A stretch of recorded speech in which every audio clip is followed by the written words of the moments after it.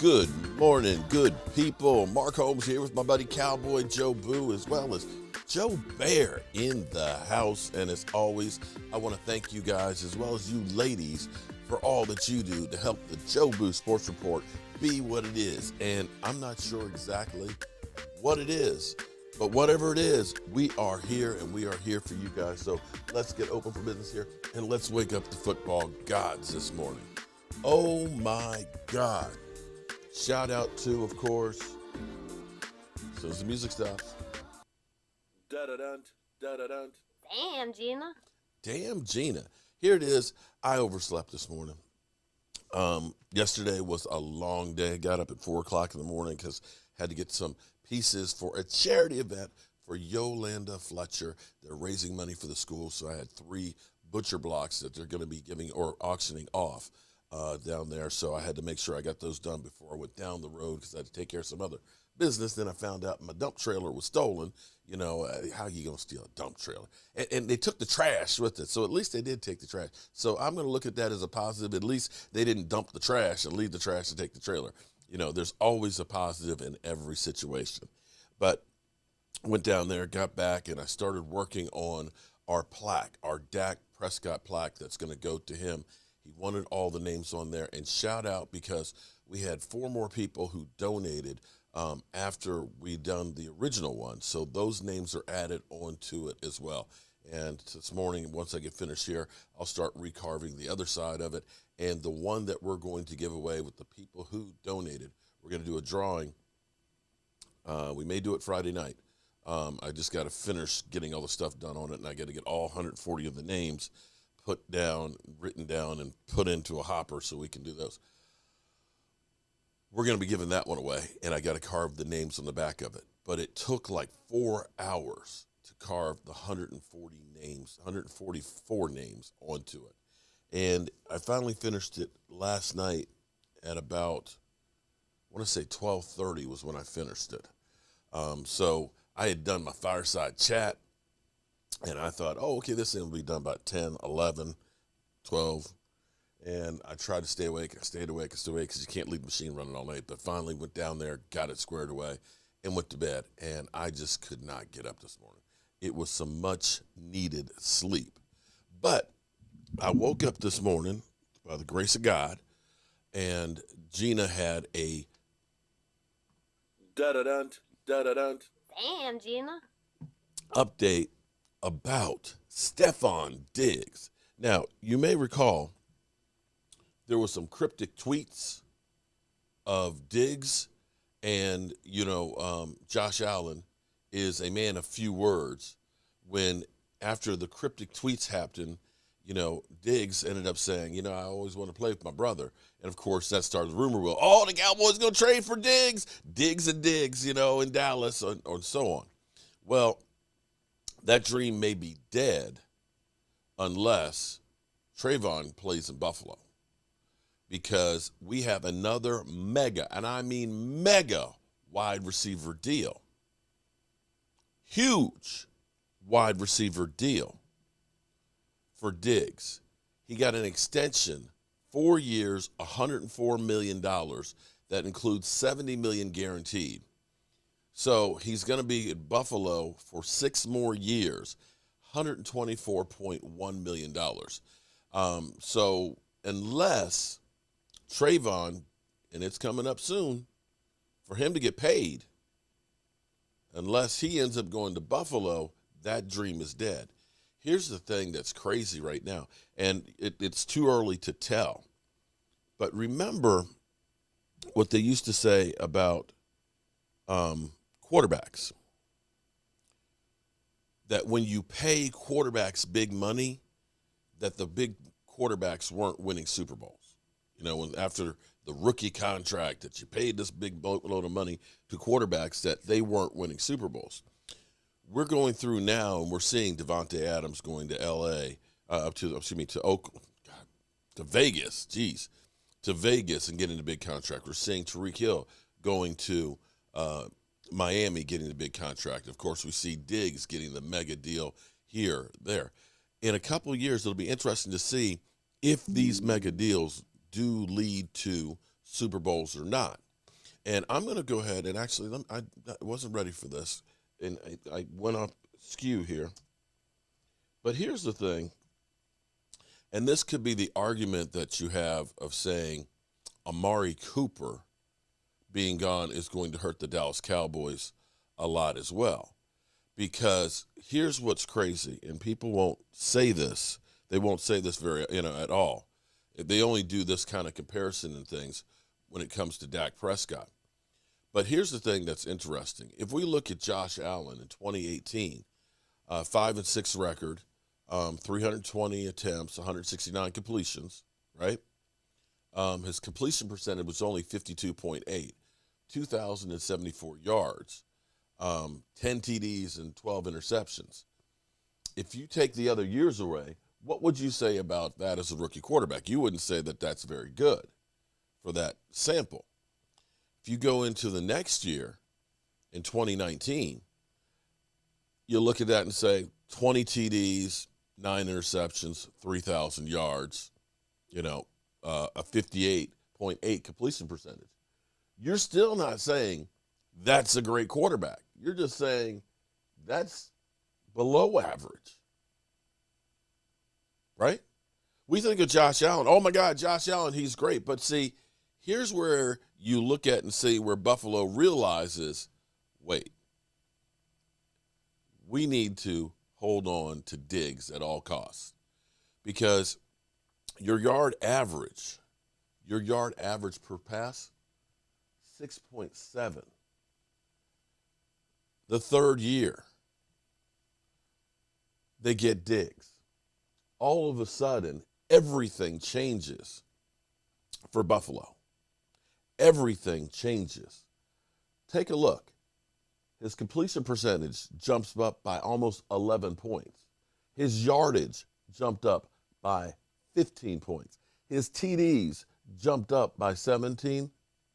Um, his interceptions right there in the middle. And his yard per average, 7.9. And that's the case you look at that and say, yeah, this guy is important for our offense. And his numbers have been fantastic. They have truly clicked. They have truly clicked together. So you can look at that and say, Stefon Diggs made Josh Allen or made him a better quarterback tremendously. That the talent that he had brought to that team and that roster changed the dynamics of that completely. And Josh Allen, being a man of few words, tweeted, yes. That was it. Just yes, after seeing that. So now all of a sudden, now all of a sudden, things get to be a lot more interesting because now you've got DK Metcalf, who's in the last year of his deal. And so now, if you are DK Metcalf or you're some of these other, or even CeeDee Lamb, if you're CeeDee Lamb and you're thinking, wow, coming up down the road, you see how much money this is jumping up. Oh, shit if I have me a great year as the number one for the Dallas Cowboys, I'm going to make this look like chump change. I'm going to make it look like chump change. So, yeah, I, I would say look for CeeDee Lamb to have an incredible season because this is almost like a contract year for him. This will be the third year. And after that, they can start talking about that contract extension. And with the money that's coming down the road, they still haven't figured out who's going to have DirecTV. And once they do, if it's Amazon or if it's going to end up being uh, Apple, both those two companies have a lot of money, a hell of a lot of money. And hell, Jeff Bezos might be the new owner of the Washington football team at the way things are going on with uh, if the allegations of skimming money for the commanders, if that turns out to be true, that would probably be the straw that breaks the camel's back and gets uh, Dan Snyder out of Washington. So, congratulations to uh, Stefon Diggs getting that money. And we'll see if this new strategy pays off. Because here's what's kind of interesting to me. Here's what's kind of interesting.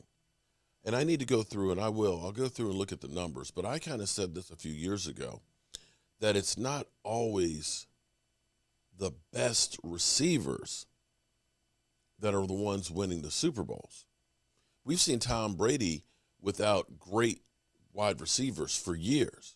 You know, we look at Antonio Brown. Now, he is kind of more in the twilight of his career. He finally got a ring with Tom Brady, but you didn't look at Antonio Brown as the dominant big receiver like he was with um, the Steelers. What really seems to be the bigger piece, now again, Tyreek Hill, you could say, yeah, he got one. But what seems to be the bigger piece in this and lost in the muddle is the tight ends. You can pretty much look back at almost every Super Bowl winning team over the last 10 years, and they've all kind of had a dominant tight end. You know, a George Kittle, a, a, um, a Gronk, um, damn, Kansas City. But all of these Super Bowl teams always seem to have a great, great tight end. Not just an average one, a great game changing tight end more than having the game changing wide receiver. That's at least my, my premise. I'll have to do some research here to determine if that is actually the case, but it seems like that is more the case. You think about um, the Eagles. The Eagles, when they won the Super Bowl, they didn't have a lights out, dominant um, wide receiver. They had a great tight end. And so we'll see if this philosophy of I've got to get a great wide receiver pays off. And right now, if you're Seattle, which is now saying that DK Metcalf, we're not even taking calls on DK Metcalf. Um, probably you're not taking calls because people are probably calling so much that it's jammed up the lines. You know what I mean? Back in the day when you used to try and call in the radio station to, you know, try and win that prize, that album or whatever, you know, you just get bump, bump, bump, bump. We're not taking any calls because it's the lines are tied up. But you have to think that Seattle is going to play coy and try and maximize what they get for DK Metcalf because they're in a full blown um, rebuilding process. And then you look at the Cowboys when you start seeing this and say, all of a sudden, Amari Cooper's deal doesn't look quite as bad as what you're seeing that's going on now. There has to have been some other dynamics that just said, we can't deal with this. We, we just have to have this guy go because it's not like you're going to find a game changing wide receiver on the cheap. And this brings me back to Cedric Wilson. To have gone through and said, we can't afford Cedric Wilson. You got to realize that now the market for wide receivers has been reset. It has been blown away. And now what Cedric Wilson just got, that's chump change. That's chump change.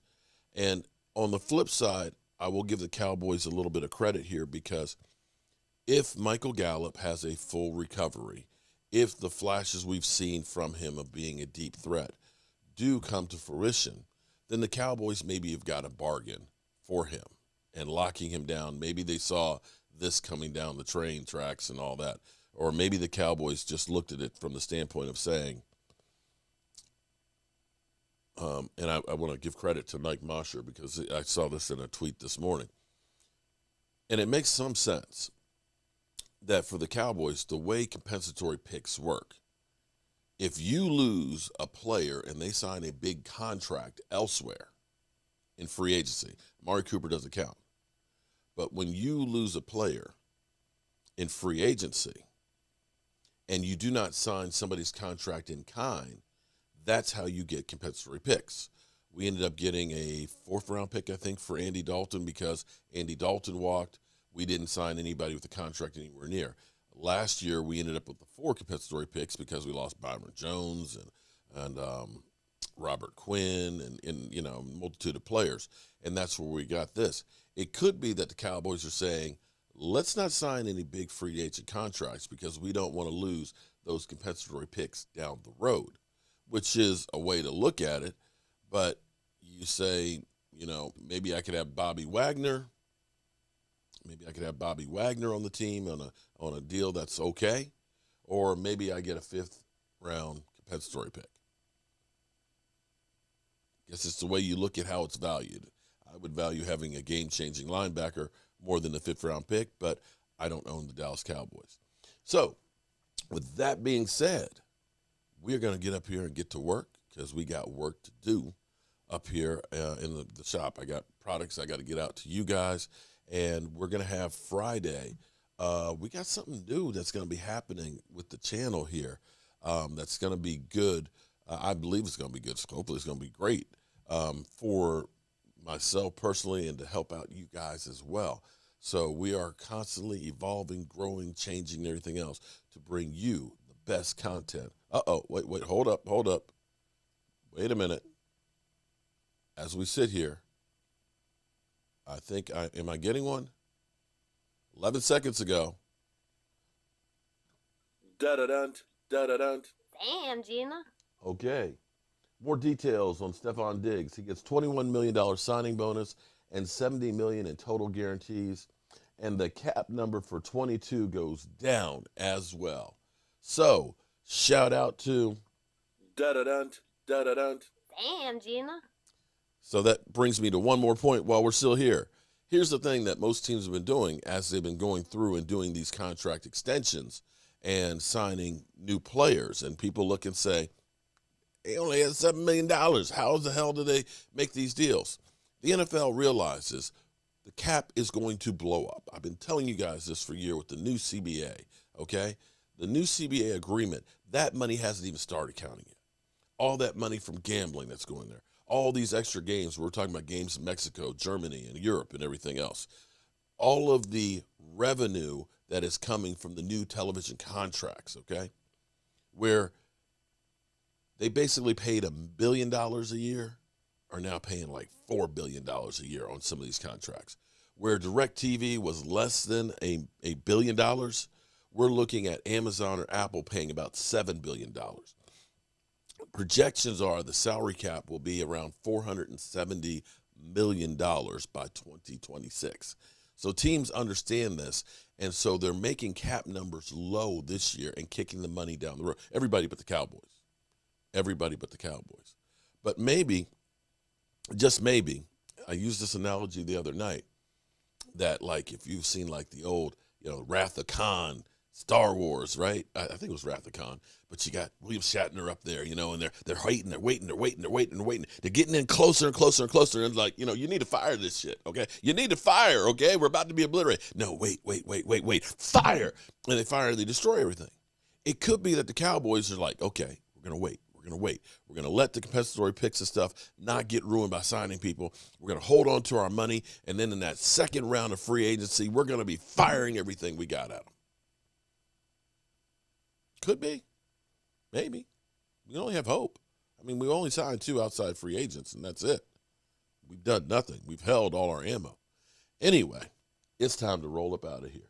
Our coach here, as always, I want to thank you all for watching, commenting, subscribing, and being part of the Joe Boo Sports Report.